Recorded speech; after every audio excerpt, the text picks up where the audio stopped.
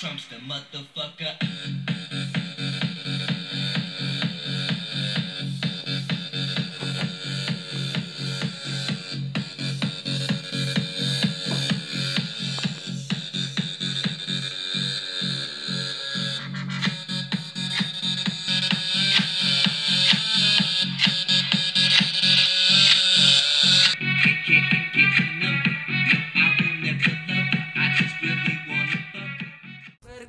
Vas a hacer? Decídete pa' ver si te quedas o te vas. Si no,